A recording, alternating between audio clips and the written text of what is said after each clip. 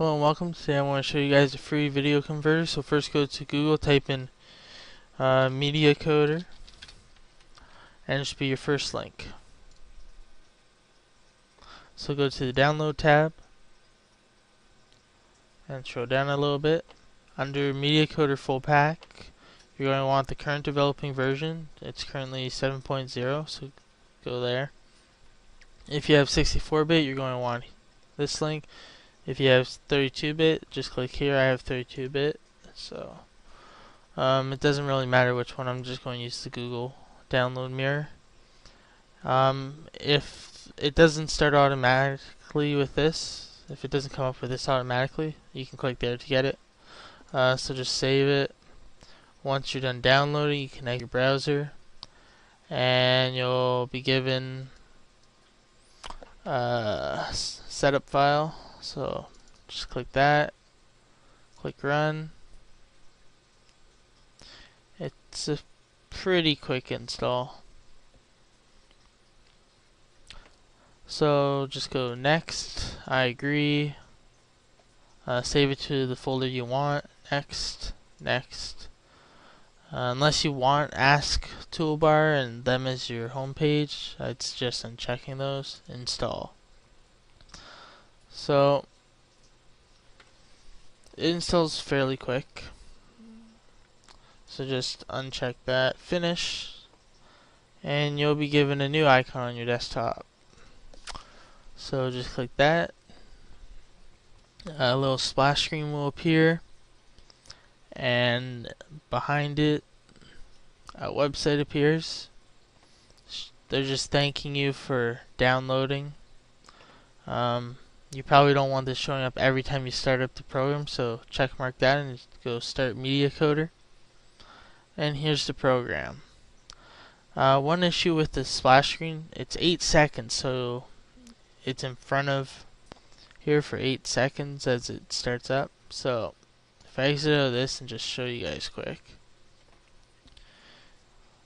The splash screen kind of stays here, there and blocks your view and that.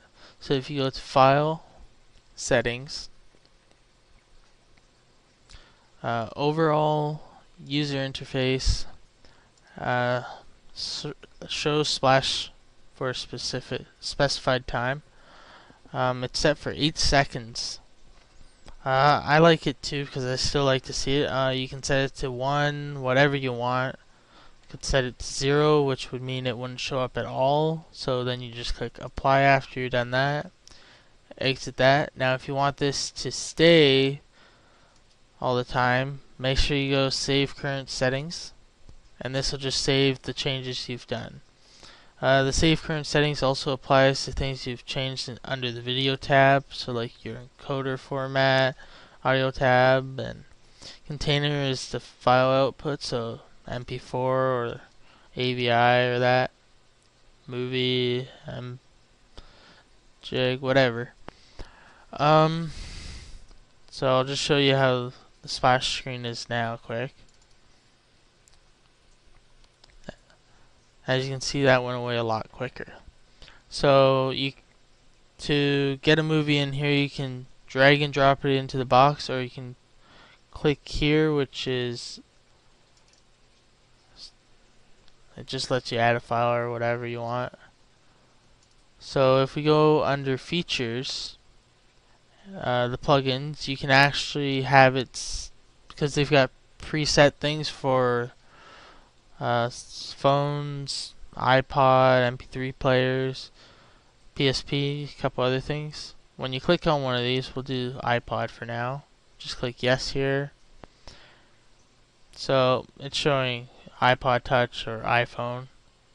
I think that's an iPhone because it has that.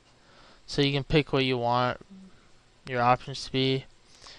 Uh, if you don't have a touch, you can even try one of the other settings that fits yours. The iPod Video Nano is right there. Whatever you want.